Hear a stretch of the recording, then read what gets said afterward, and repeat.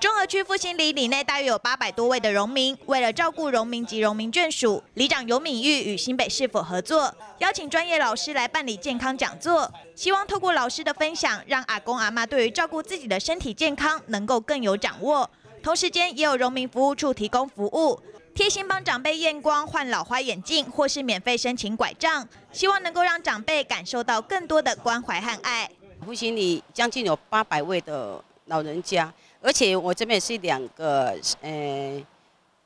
眷村，所以呢，一些眷村的伯伯嘛，诶年纪也大了，所以他们行动什么也不方便。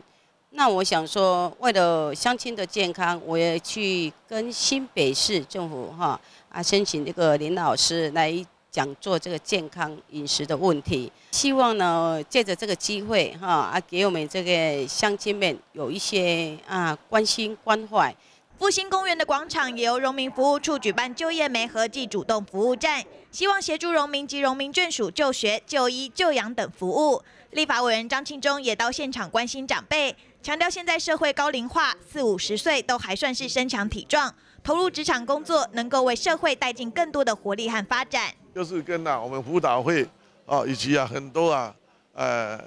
机关他们呐要在招募人才，我们做啊啊职业的模糊啊，让有很多年轻人现在啊我们很多年轻人呐找不到工作，或者啊现在因为呃很多部队哈现在精简，有的四十几岁就退下来了，哦像这么年轻力壮，我们现在平均国民的这个寿命到八十二岁。